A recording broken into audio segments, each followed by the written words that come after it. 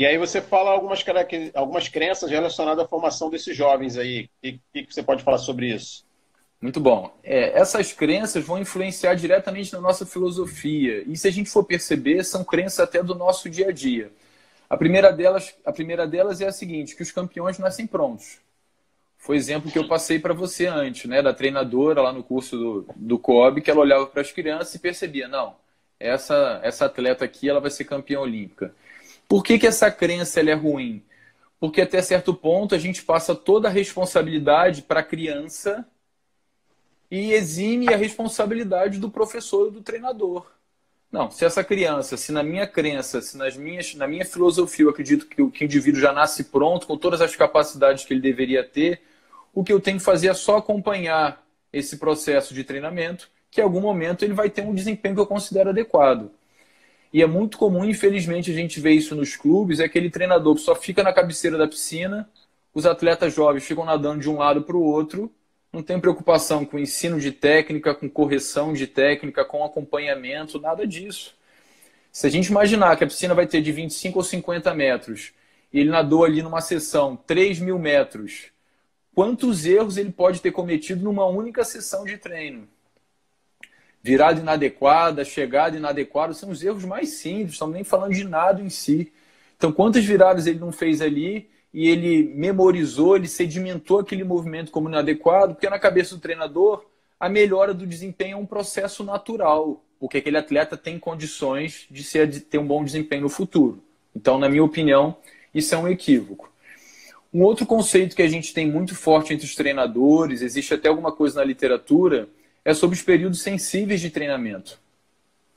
A ideia é que eu deveria treinar algumas capacidades motoras em períodos específicos da faixa etária, acreditando que isso vai fazer com que aquela capacidade seja desenvolvida com maior magnitude, de forma mais adequada. E que se eu não treinar aquelas capacidades naquele momento chave, o indivíduo não vai conseguir desenvolvê-la ao máximo no futuro. Felizmente ou infelizmente, a literatura não suporta, não sustenta essa ideia de que se eu não treinar força naquele momento específico, eu não vou desenvolver minha força ao máximo. Se eu não treinar condição aeróbica nesse momento, eu não vou desenvolver minha condição aeróbica ao máximo. E talvez não sustente, não suporte, Fabrício, até porque é difícil de medir isso. Tá certo? Mas, esse, Mas hoje... esse conceito é comum nos livros, né? É comum. É a fase ideal para treinamento de, de, de, coordenação, fase ideal. Você deve treinar isso até tal idade e tal. Você, Principalmente... você, não, você não concorda com isso? É, a literatura mais recente, se a gente for procurar principalmente nos artigos, eles, eles argumentam uhum. que isso é insustentável. Uhum. Qual o problema, problema? Qual a característica que a gente tem nos livros, ainda mais aqui no Brasil? Os livros tradicionais de treinamento esportivos, eles foram publicados fora do Brasil, depois cá. Então, se a gente imaginar o tempo de escrita do, do livro, o tempo de publicação, ficou naquele país durante alguns anos, depois veio para o Brasil, muita coisa já pôde Podia estar é, atrasado. E, e, esses livros, em geral, são da década de 70, né? Isso Eu aí. dois aqui que falam em treinamento de longa, longo, longo prazo, né? Esse aqui fala sobre isso. Muito bom, gosto.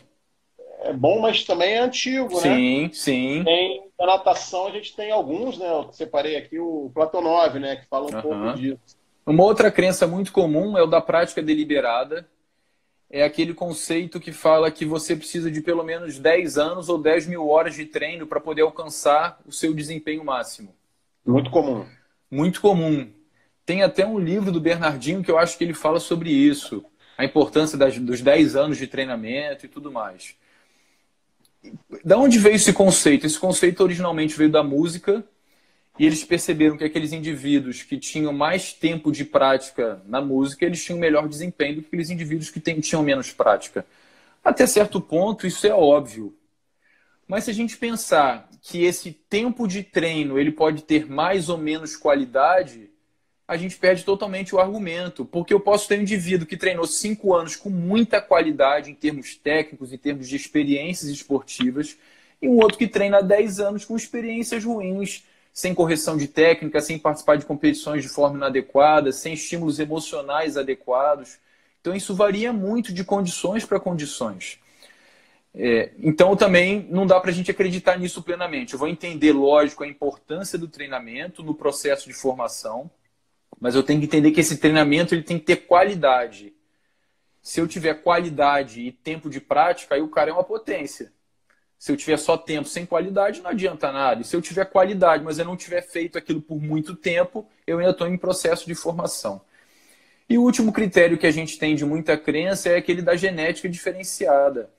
A gente acredita que vai encontrar um atleta que tem lá um percentual elevado de fibras de contração rápida, que vai ser um excelente velocista, como se a gente fosse limitar toda a complexidade que é o indivíduo a um gene.